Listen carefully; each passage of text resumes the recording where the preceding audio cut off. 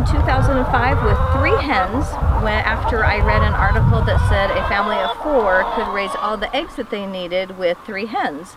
And so I very much wanted to. We moved out here, got our three hens, and fell in love with chickens and have been growing ever since. We have loved being able to share our eggs with our first our family, then our friends, and now with our entire community. We raise our chickens the way that most people imagine that chickens are raised on a chicken farm. Our hens are outside year-round, foraging for bugs, eating grasses, finding tasty treats. They're in the sunshine. They have houses to keep them warm and dry, but they're never confined inside. This is the reason why our eggs have such a, a higher nutritional content than your factory farmed egg. So we would not be able to do what we do here just on our own efforts. The farm originally started with just my husband and I and our three children running the farm, but as we have grown, we have added on employees, we have added on people who help us feed the chickens, gather the eggs, wash the eggs, and take the eggs to the grocery stores.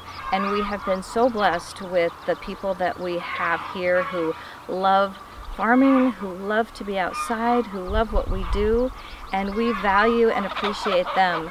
And so we commit to paying them a living wage. We offer them benefits, and um, we, we love them. They're part of our family.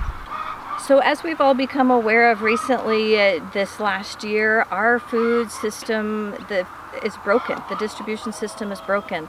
By supporting local farmers and buying from farms that are in your community, you are helping to keep food available to everyone who needs it.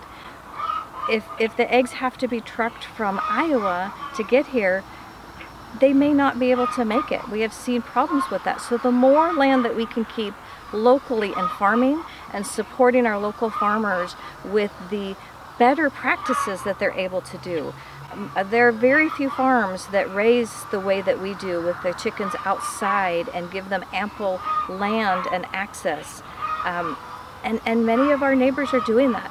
We are blessed as farmers to live in a community that supports local farms. I can't tell you how much we appreciate that we have people who understand the value of good, healthy food and what that brings to their table, but also what it brings to our community. We can't raise eggs for 99 cents a dozen. It, we just can't. We can't produce a healthy egg that way. And we're so thankful that our friends and neighbors understand that here in Western Washington and are willing to support the efforts that we do to raise healthy, nutritious, sustainable food. So our eggs are available in Bellingham at both of the community food co-op locations. They are available at all of the Haggen stores in Whatcom County and throughout Western Washington.